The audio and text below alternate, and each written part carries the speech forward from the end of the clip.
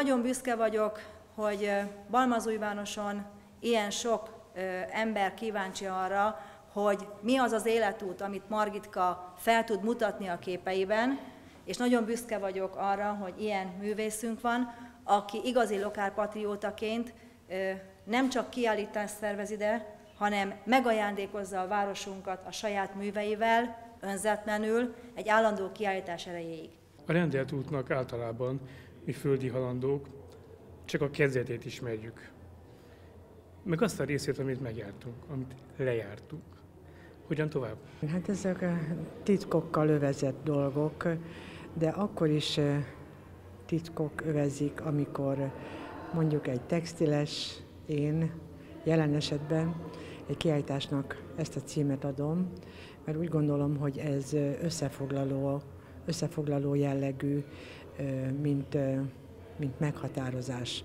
Összefoglalja a munkámat, vagy a munkásságomat lehet ezt is mondani, amely ismeretlen volt első pillanattól kezdve, ismeretlen volt közben, és csak azt a részét ismerjük, amit most az ember meg tud mutatni. Tehát most én a 45 évet tudom megmutatni, és az, hogy ezután mi lesz, az ugyanolyan ismeretlen, és ugyanolyan titokkal övezett, tehát előttem is ismeretlen. Hogyha esetleg arra gondol, hogy elhangzott a megnyitón az, hogy ez az utolsó kiállításnak szánom, Balmazújvároson, igen, annak szánom, azért, mert most megmutatom a koromat, persze, de nem, nem is az a legérdekesebb, hogy hány éves vagyok, hanem akkora igénybevétel, elsősorban szellemi, fizikai igénybevétel is, egy nagy, nagy léptékű kiállítást megcsinálni, és nagy léptékű kiállítást megcsinálni Balmazújvároson, ezt hozzá kell tennem, mert eh, ahogy a legelső kiállításom alkalmával a megnyitó a megnyitón szereplő, illetve hát résztvevő egyik szakíró azt mondta, hogy hát Balmazújváros, igen, igen, hát nem a műcsarnok, hanem jobbannál. Ezt én azóta is szoktam emlegetni. Igen, tehát nekem Balmazújvároson kiállítást csinálni, az nem olyan, mintha műcsarnokban csinálnék, vagy nem olyan, mintha, és akkor akármit behelyettesíthetnék a műcsarnok helyére, tehát mint nagy kiállítóteret.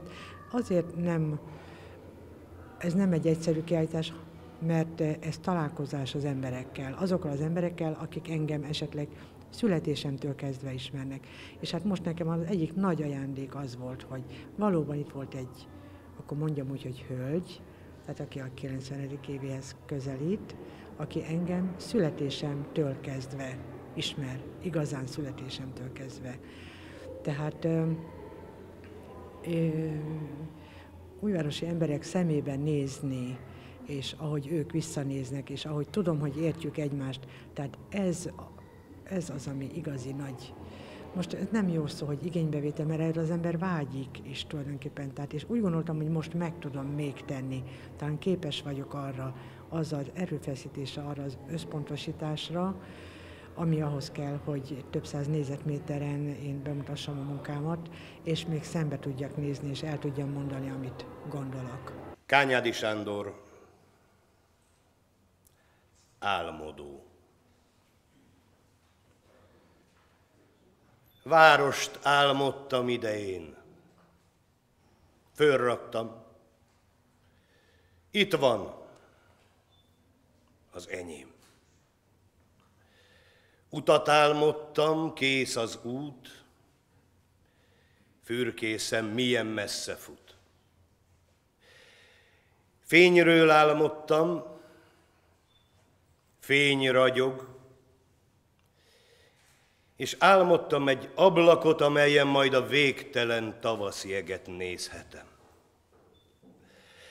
Megvan végre az ablakom, van szobám, ahol alhatom, van alázatos szőnyegem, naponta többször ehetem. Mi kell még? Kérdik. Nem elég?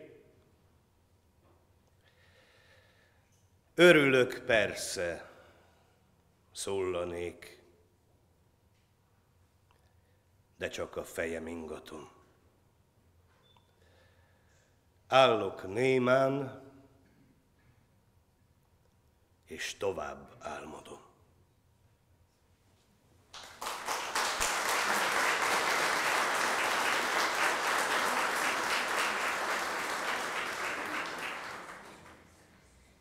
Margitka a legnagyobb bizonyítéka arra, hogy a népművészet gyökeréből táplálkozva a magas művészethez hogy lehet eljutni. Tehát azok az oldalsó kis szobák, amelyek gyönyörű göbös mintával a népművészet gyökeréhez való kapaszkodását mondják, míg ezek a nemes dolgok, amelyek végül is hihetetlen játékosságukkal és formagazdagságukkal egy lehetőséget adnak arra, hogy Margitka a belső világát kivetítse felénk. Nagyon izgalmas ez a kiállítás, és nagyon örülök neki, hogy Balmazújváros a Margitka, aki itt született, számára egy ilyen lehetőséget, megmutatni vágyást, ezt lehetős, lehetővé tette. Nagyon örülök, hogy itt lehetek, és nagyon-nagyon örülnék annak is, hogyha ebből tényleg egy állandó kiállítás lenne, és hogy erre Valmazújváros büszke lenne. Létezhet egyáltalán másfajta gyökér a népművészeten kívül? Létezik egyáltalán bármi más? Ha a nemzeti műveltséget mondjuk, akkor nincs. Másban lehet, de aki tényleg a magyar kultúrát alapjának tekinti a művészetében, az mindenképpen a népművészetből táplálkozik. Ha nem, akkor nyilván hát játszadozik, de ő, mint iparművész, mindenképpen egyrészt a népművészetet szolgálta, abból nőtt ki, és a magas művészetekben ugyanezt a gondolkodást megpróbálta megvalósítani, és ez nekem nagyon szimpatikus. Úgy gondolom, hogy már ezek az alkalmazott textíliák is ékes bizonyítékai annak, hogy a magyar népi szőttes kultúrát egy tehetséges alkotó, korszerű elemek beiktatásával milyen fokon képes integrálni az elkövetkezendő idők textil kultúrájához. Vannak olyan helyzetek, amikor egy megnyitó beszéd gyakorlatilag előadássá válik. Tanultunk, rengeteget tanultunk. Nagyon örülök, hogy ez a véleménye. Az az igazság, hogy az, amiről én eh, a megnyitómban szóltam, rendkívül nagy szerepe van abban, hogy a hagyományos kézművesség szőttes területe mai nap is világszínvonalon él tovább, öröklődik, olyan formában, hogy az eh, a ma embere számára is rendkívül használható, korszerű, és lakáskultúrájában, viseletében egyaránt megjelenik a fiatal és idősebb korosztálynak egyaránt. Kányási Hol Margitkával mindketten benne vagyunk abban a zsűri bizottságban is, mely a Hagyományok Háza Kebelén belül működik. Ennek a zsűri bizottságnak az a feladata, hogy a ma alkotók, kézművesek, akik a hagyományokat éltetik tovább, és a hagyományból táplálkoznak, ezeknek a ma alkotó közösségeknek és egyéneknek a munkáit minősítjük, segítjük, és a továbbéltetésben segítségükre vagyunk. Mintha a művész meghallotta volna az elemi erejű kinyilatkoztatást, én vagyok az út, csak rajtam keresztül lehet eljutni Isten országába, olyan viharos erővel szaladt rajta át a fölismerés, szeretett apostol, a közösség kovásza csak az lehet, aki a jelen és a múlt örömeit és sebeit hordozva, a történelem bántásain túltekintve, békével tekint Istenre, emberre, családra.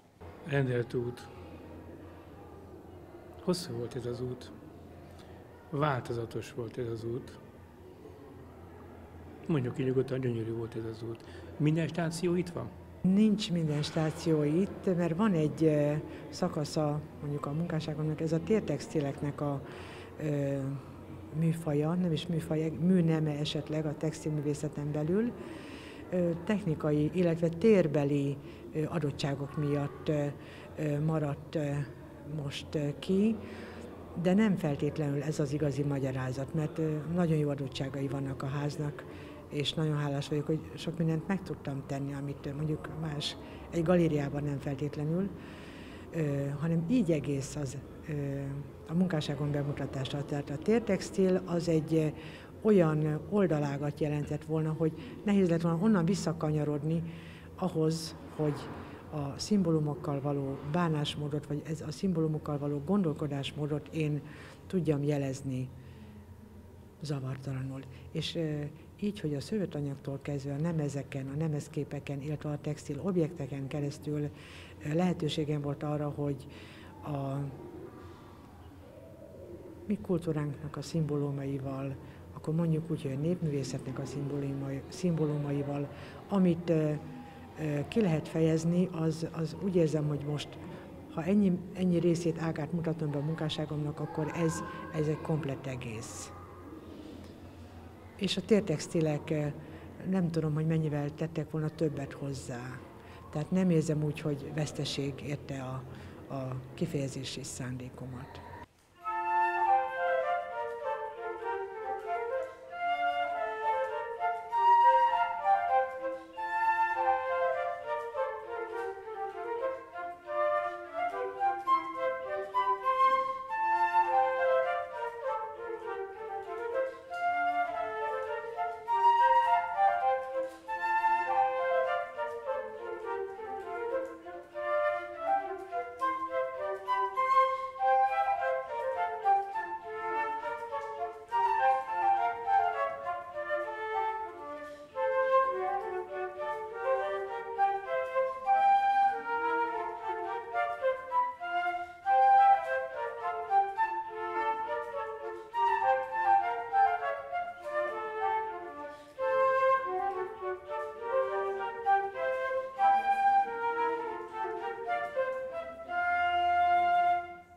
Tíz évet kell várnunk egy kiállítására. Performanszokat csinál, nem is akármilyen szinten. Szőttesekkel foglalkozik, nem is akármilyen szinten. Népi hagyományokat ápol, nem is akármilyen szinten. Bele tud kapcsolódni, integrálódni tud egy kvázi gyáripari termelésbe. Mit mondjak még? Melyik az a része, amelyik a legjelentősebben tűnik az évek múltával? Így együttesen, egységében kell Hol Margitka munkásságát tekinteni.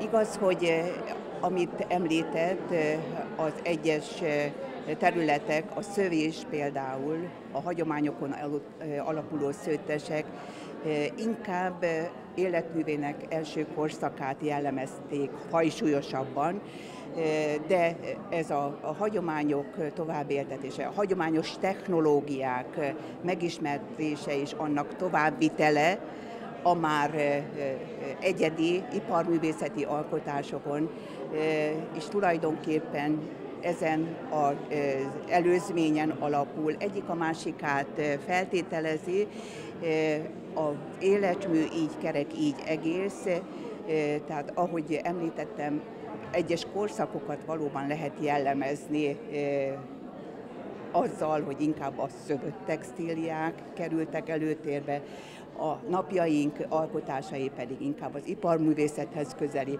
egyedi alkotásait helyezi előtérbe. De a kettő szorosan együtt él, és szervesen együtt van, hiszen azok a technológiák, azok a szimbólumok, azok a jelképek, amikkel ő variál, amiket ő saját munkáiban megjelenítik, megjelenít, azok mind a hagyományos szövésben is egykoron felelhetők voltak. Mi lesz a következő Holmargit kihívás? Kizártak tartom, hogy lezárt az életmű.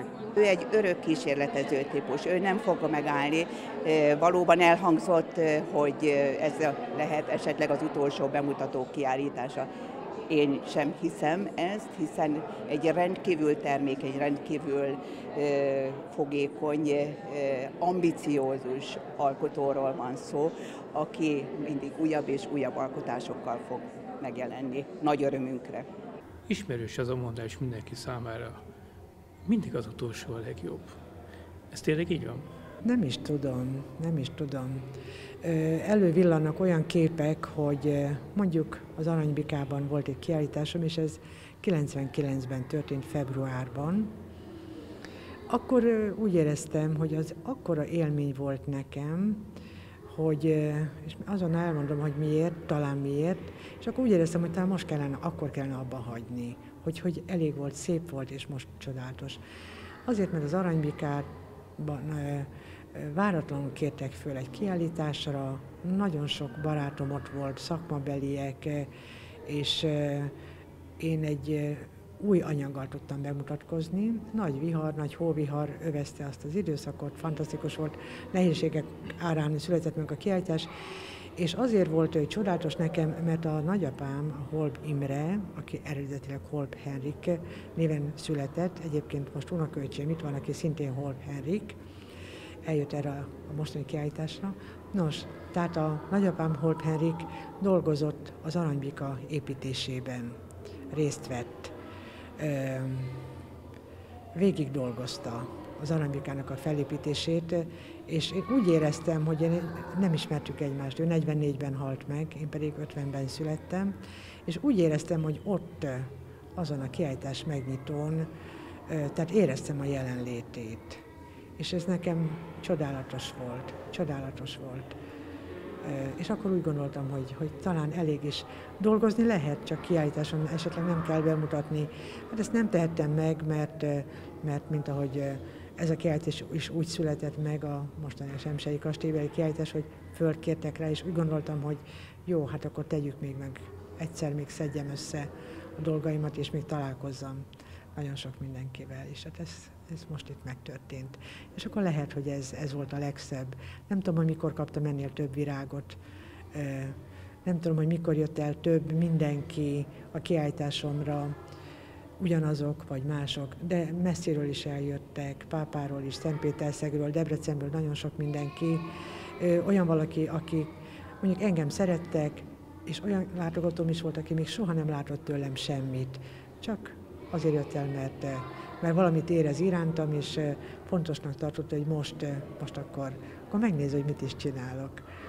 Tehát élmény volt, és akkor lehet, hogy ez volt, lehet, hogy most ez volt a legszebb, és már ez a legszebb. Az egy nagyobb és három kisebb teremben látható tárlat egy életmű eszenciája, fölemelő gazdagsággal. Ez az a látható, tapintható boldogságsziget, amelyen a textilművész jól érzi magát, és ez az a terrénum, ahonnan kiindulva anyagba álmodhatja látomásait. Mindenkinek azt javaslom, hogy használj ki a lehetőséget. Nem hiszem, hogy ez az utolsó. Valószínűtlen.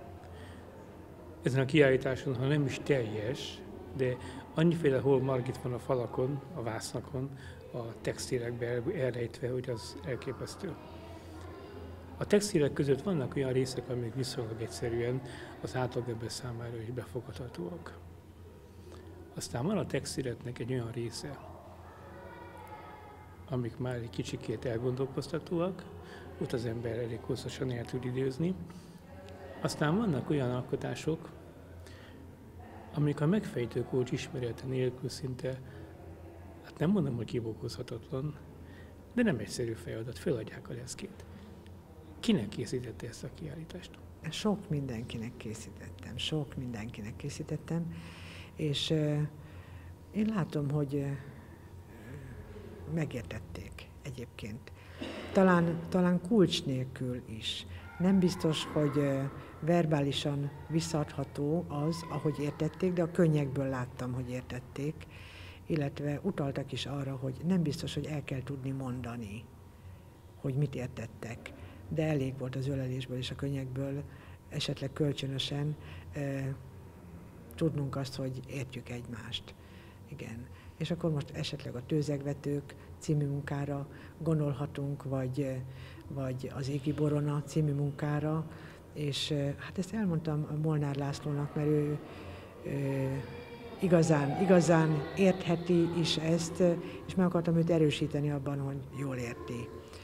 Egyrészt egymás melletti házban nőttünk föl, az ő nagyszülei laktak a szomszédunkban, és hát ez, tudjuk, hogy ez azt jelenti, hogy egy levegőt szívtunk, és egy, egy világot éltünk, és ha neki azt mondom, hogy tőzegvető, akkor tudja, hogy azt egyrészt hogy kell taposni, mire szolgál, és tudja azt, hogy ez egy forma, amiben sok minden beleférhet.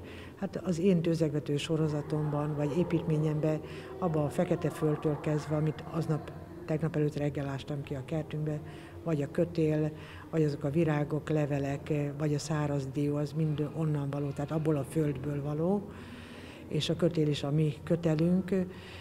Ezeket tehát mint egy, mint egy élet, amikor formát ölt, tehát ennyi sok mindenből áll, és nem csak egy élet, mikor megszületik, hanem amikor egy ember, ahogy végigél az életét az összes drámájával, az összes szépségével, szenvedéseivel együtt, tehát mindegyik formát ölthet, és hát a legfelső tözegvető forma az, amiben nincs semmi, látszólag nincs semmi, de benne van minden, nem üres, hanem tudjuk, hogy abban levegő van, azt látjuk, hogy levegő van, és azt is tudjuk például, vagy ha nem, akkor, akkor esetleg most megtudhatják, hogy abban a lélek is ott lehet.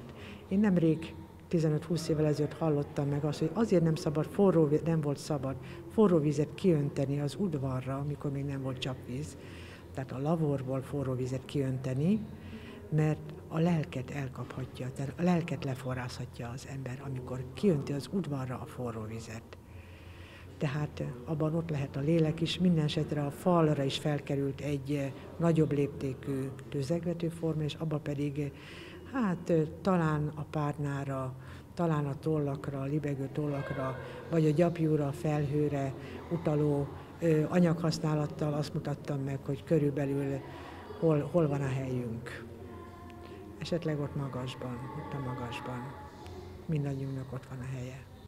A tárlat sokoldalúsága azért is szembetűnő, mert a művész nem tett különbséget a régi és az új, az anyagok és műformák, kifejezés eszközök és megjelenési módozatok között. Körülbelül 40 éves voltam, amikor azt olvastam, művészetről szólva, hogy 50 éves korban mindenképpen egy művésznél, vagy nem művésznél, de eldől az, hogy hogy áll a jó Istennel.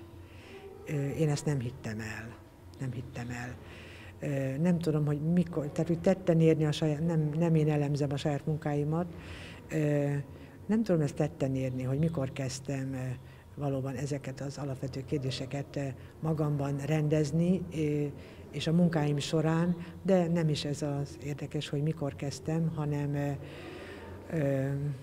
a nagy kérdéseknek a jelenléte az mindenképpen belekerül az ember munkájába bizonyos évtizedek után, hogyha még mindig csinálja a szakmáját, vagy a hivatását, vagy, vagy mondjuk, tehát a művészet szót nem is igen szeretem,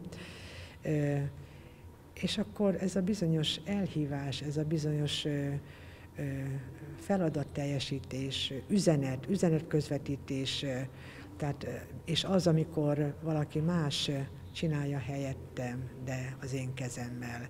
Tehát ezt, ezt, ezt érzem, gyakorlom, és érzékelem.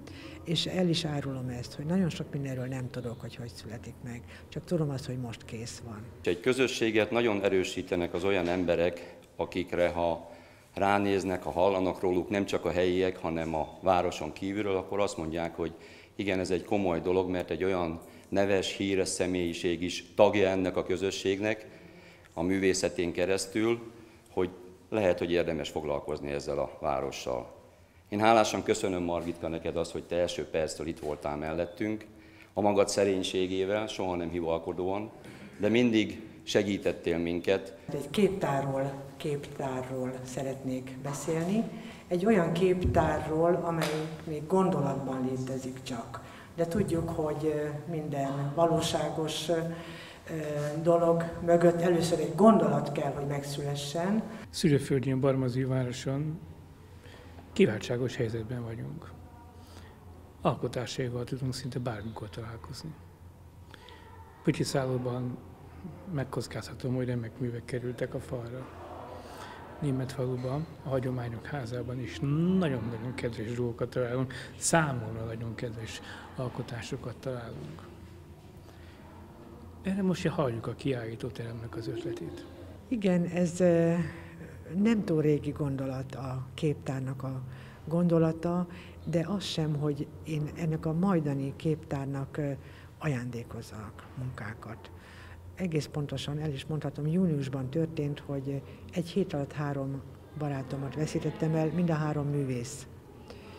És tulajdonképpen egyikőjük sem gondolt arra, illetve gondolni gondolt, de nem sikerült elrendezniük a műveiknek a sorsát. Egyikőjüket váratlanul érte a halál, másikőjüket nem váratlanul érte, kórházba menetel előtt, egy nagy szívműtét előtt még egy szándéknyilatkozatot tett ö, unszolásomra is, ö, mert akartam segíteni abban, hogy, hogy a munkái ne legyenek szél. Egy nagy művészről van szó, Bakó Ilonáról. És megtette ezt a szándéknyilatkozatot. És a harmadik művész pedig egyáltalán nem foglalkozott azzal, hogy mi lesz a munkáival. És azt gondoltam, hogy, hogy ezt végigéltem, ezt a három temetést, három elvesztés, hogy talán nem kellene megértenem ennek is az üzenetét. 67 éves vagyok, és úgy gondoltam, hogy én, ha lehet, akkor derűs körülmények között és jó kedvemből szeretnék adni, és hagyni, és adományozni, és hát úgy gondolom, hogy a ma délután elég derűs volt itt, és, és hogy jó kedvemből tettem ezt, erről pedig biztosíthatok mindenkit. És úgy gondoltam, hogy a képtár, ez mint hozzáépült, mint gondolat, és hát a Magi Zoltánt nagyon jól ismertem, nagyon szeretem, nagyon nagy művésznek tartom, sajnos már nincs közöttünk, és hát tudom a Hortobágyi képtárnak a történetét, és hogy ez közel 60-80 éve alatt hogy formálódott ki, és úgy gondolom, hogy Balmazúvárosnak is van olyan karaktere, minden helynek van különben karaktere, mert a hely szelleme, mint olyan, az létező dolog. És az, hogy én azt a 12 munkát, amit kiválasztottam, tegnap előtt döbbentem rá, hogy én ezt mind itt csináltam Balmazújvároson. Tehát én nem az alapján választottam ki a munkáimat, ezt csak akkor döbbentem rá, és egyébként itt csináltam Balmazőrösen és a szülői házamban.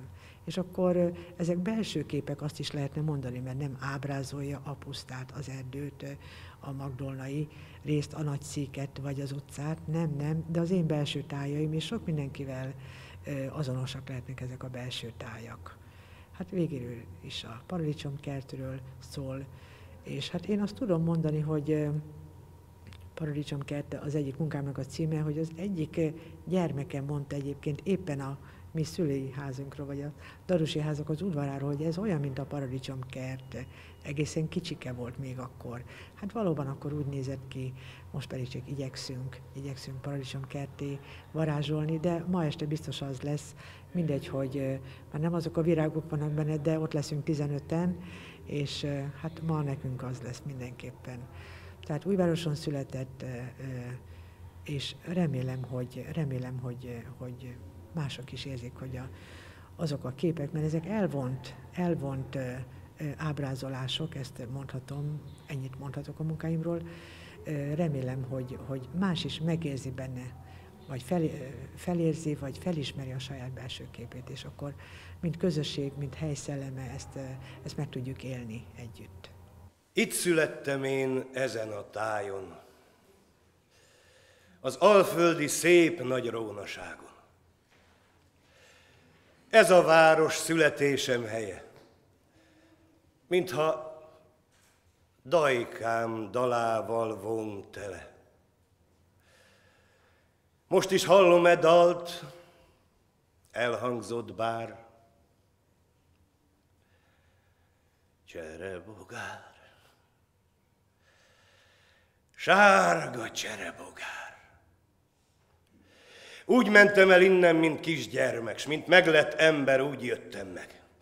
Hely, azóta húsz esztendő telt el, megrakodva búval és örömmel. Húsz esztendő. Az idő hogy lejár, cserebogár.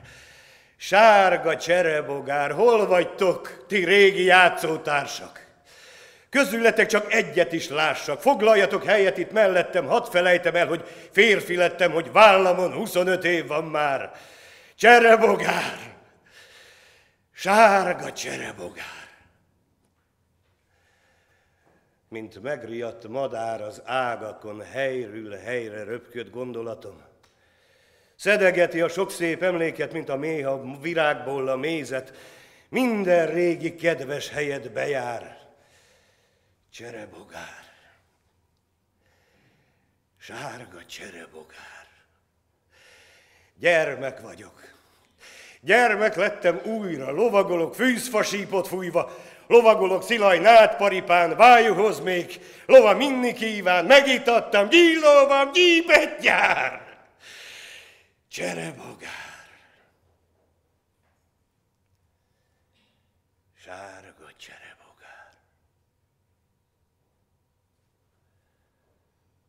Megkondul az esteri harangszó, Kifáradt már a lovas és a ló.